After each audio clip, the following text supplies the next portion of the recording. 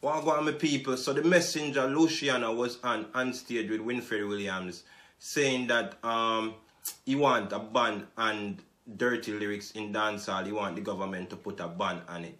You know what I mean? And even though Winford Williams trivialized what he was saying and his stance that he was taking, I can see that um, his perspective where he's coming from, saying that um, it's um, deteriorating um, society and moral in the dancehall where we see bed um, people bringing bed and acting um, inappropriate, doing all sort of things, which is the dancehall, you know what I mean? And it's a thin line.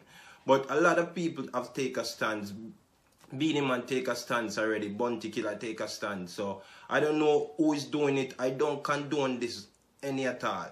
These beds bringing in dancehall, you know what I mean? And for for the messenger to take a stand, I applaud him hundred percent. You know what I mean? And if I was supposed to take a side of history, I would agree with what some of what he was is saying because I understand his stand, even though um, Luciano himself is a controversial figure. Um, remember, um, gun was found at his house, but we're not gonna use that to prosecute him. You know what I mean? Because I get his view, I get his point of view, and what he was saying is that um, it's deteriorating society and Jamaica because um, certain things that are putting out there and it's going to the youth them um, they're growing up and they're behaving as such because of the lyrics that are coming out the dirty lyrics so-called dirty lyrics. So i understand what he was saying. You know what i mean? Which eh, the movies them are not to be counted out because remember people that watch movies, studies have shown that um, when you watch something and you hear something which is applying to two senses, then it, it's more, um, you become more of that person. So I don't know how influential music is. I know it's very influential because of the artists and their creativity. But um, I can argue that um, certain movies are, are, are very influential as well. You know what I mean? But I understand completely Luciano stand and people, if um, we were supposed to ban anything, I think it's bleaching cream um, going into Jamaica. The president of Rwanda, which is um, a, a, a, country on the continent of Africa, banned bleaching cream. You know what I mean? So if Luciano was to take a stand, I'm not going to direct where he should take a stand, but I'm saying the best place to start right now, as far as I can see, is taking a stance again um, against um, bleaching product that's being shipped to Jamaica by all of manufacturer uh, that's giving people skin cancer.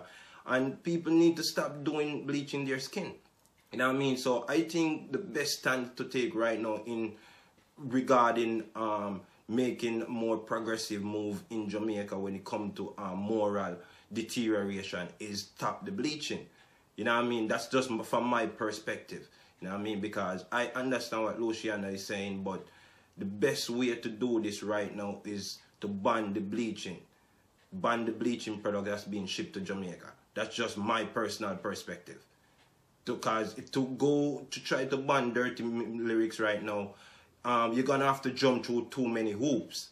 You know what I mean? But banning the bleaching product all you have to do is just take it off the market and ban it from being shipped to Jamaica or being sold by any manufacturer on the, uh, the island. It's simple. You know what I mean? So I'm saying to Luciano that try starting there before we jump to the music. You see me? But I support his stand and I understand his perspective. You see me? So big up yourself, Luciano. Peace. I'm out. Work in the country, you have to look on. And him do great works too, cause even though him the jail, him still be the champion DJ boy. And some boy we say them didn't want him go jail. the biggest dancehall analyst in the world, Ninja Man. The biggest dancehall analyst in the world, Ninja Man.